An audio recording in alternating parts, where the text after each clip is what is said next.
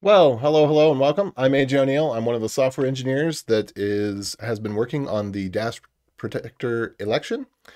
And I want to show you, well, we're, we're going to go through the, the results for the election uh, using the vote tally tool. And I'm just going to going to show you as I do that. So first of all, I've already got this, I've already got this code cloned to my local computer. So I'm in that directory right now. And we took a snapshot from last night of the masternode list. And so that was uploaded, as you can see, 16 hours ago. And then we have, uh, well, I'm, I'm actually just going to show you, we're going to get the latest list of votes, which is tagged with a timestamp, and then also the list of candidates that we've that we've had. I'm just going to show you how that's done so you can see. So what we have is an environment file that says what the voting start and end date are. I actually need to update that. I had that set for testing. So there we go. That was, oh, I guess it should be 1500 is the end date. That's the specific end time. Voting prefix was DTE 2022. Network is mainnet. And then uh, I I actually already have these downloaded, the votes.json and the candidates.json, but I'm going to go ahead and show you how that's done just for reference. So we have examples.env. You can see here there's the URL that you can get the candidate list from. This is this is public at all times. And then this is the URL at which we can see the votes and the timestamps.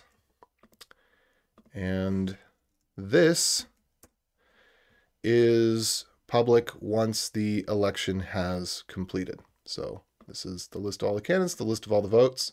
So we have these in our results folder right now. We can see uh, there's candidates, MN list, and votes. And then I'm just going to go ahead and run the tally, and we're going to see what happens. Okay, so there are a few dozen votes that have been discarded. We will take a look at these manually later because this could actually be important. Uh, my guess is that if we look at these, I'm going to go ahead and open up results, MN list.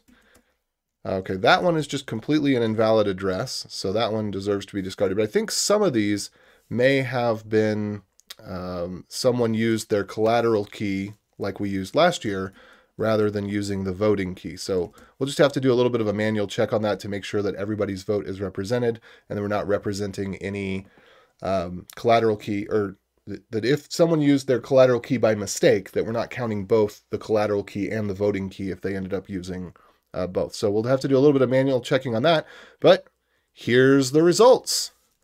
So it's it's tight enough that I think that that uh, these votes that were discarded uh, because they were they were either just completely invalid keys or being done with a collateral key rather than a voting key. Uh, we will want to take a look at those just to make sure that everybody's vote was represented because it is pretty close there.